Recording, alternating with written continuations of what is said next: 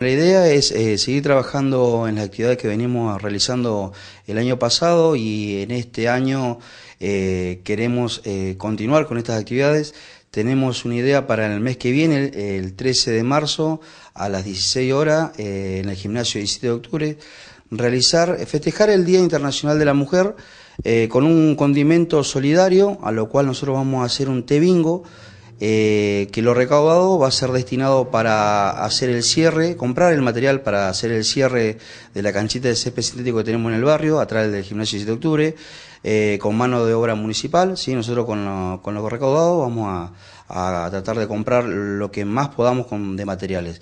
Y parte también de eso, eh, estamos haciendo la actividad en conjunto con la Asociación Coordinadora del Barrio, con otras ONG, eh, con los chicos del Centro Estudiantes de Secundario 11, a lo cual ellos mismos le vamos a brindar un aporte monetario para que ellos puedan lograr comprar su fotocopiadora eh, para el colegio. Esta actividad eh, está enmarcada, como te lo digo, en el Plan de Desarrollo Barrial, un proyecto que nosotros hemos presentado el año pasado, que fue declarado de interés municipal, y es una actividad social, eh, cultural, a lo cual también tenemos una gran cooperación y, y, trabajo en conjunto con el municipio, ¿sí?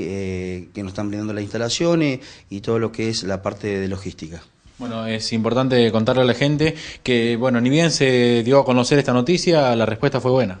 Mirá, eh, realmente estamos muy contentos, eh, sabemos que nuestro barrio viene trabajando muy bien, pero se han acoplado muchísimos actores en todo lo que es Río Gallego.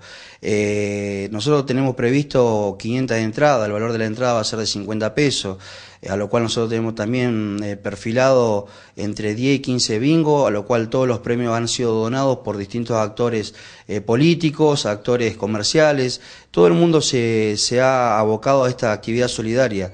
Eh, te digo la verdad, estamos muy contentos. Más de 180 eh, entradas hemos vendido en un día, tenemos 500 eh, en sobremesa y la idea es pasar un domingo, ¿sí? un domingo distinto en familia, festejar, eh, agasajar a, las mujeres de, nuestra localidad y también trabajar solidariamente para un fin a lo cual nosotros ya estamos trabajando sobre lo que es eh, la parte deportiva de lo que es el barrio y darle una mano a los chicos del centro de estudiantes del secundario 11. Aquellos vecinos que quieran adquirir su tarjeta, ¿de qué forma lo pueden hacer?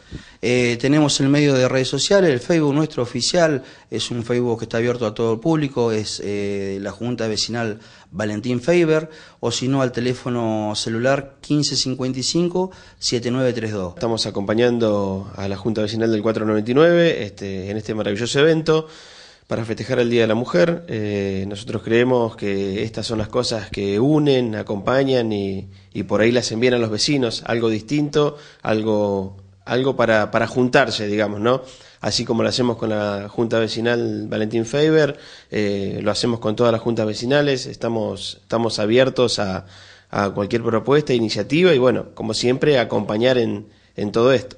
Raúl, eh, contanos un poquito qué función cumple esta asociación coordinadora y bueno, desde cuándo está creada, cómo funciona. Esta asociación coordinadora se creó hace aproximadamente ocho meses. Este, la función de ella, bueno, es asistir, acompañar a todas las juntas vecinales conformadas, como así también aquellos barrios que no tienen juntas vecinales y bueno, poder darle una mano y asistirlos y acompañarlos en los reclamos pertinentes, en las necesidades y, bueno, y en las cosas diarias que por ahí necesita el barrio y no tienen dónde canalizarlas, ¿no? En aquellos justamente lugares barriales, centros de atención de cada, de cada sector de la ciudad, ¿cómo se pueden contactar con ustedes para realizar algún tipo de consultas o simplemente sumarse? A la página, nosotros tenemos una página que es Asociación Coordinadora de los Barrios, la tenemos en las redes sociales y si no al, al teléfono celular que tenemos, que es el 1558 2672.